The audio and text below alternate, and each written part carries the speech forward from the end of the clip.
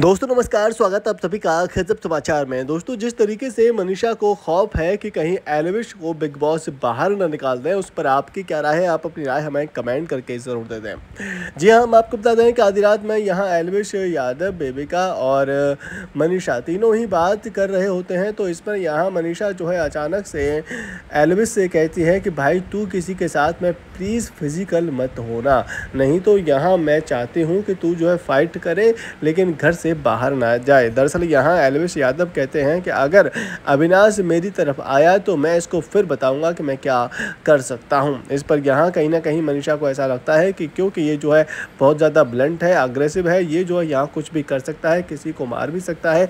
क्योंकि ये जो है यहाँ इस शो में अपना हंड्रेड देगा। कहीं ना कहीं मनीषा का भी यही मानना है। तो इस पर यहाँ एलविश से सेम बात कहती है कि भाई प्लीज़ फ़िज़िकल मत होना। हम नहीं चाहते कि तुम जो है घर से बाहर जाओ, तुम जो है टिको, क्योंकि तुम जो है एक अच्छे इंसान हो, अपनी बातों को यहाँ क्लियरली रखते हो। दरअसल हम आपको बता दें कि यहाँ मनीषा और एलविस की याद में काफ़ी अच्छी पड़ती हुई नज़र आ रही है। यहाँ आप कह सकते हैं कि फुकरा के बाद सबसे ज़्यादा अच्छे से बात एलविस जो है यहाँ मनीषा से ही करते हुए देखने को मिल रहे हैं। आप देखना ये होगा कि इन दोनों की दोस्ती हमें आगे देखने को मिलती है या फिर नहीं।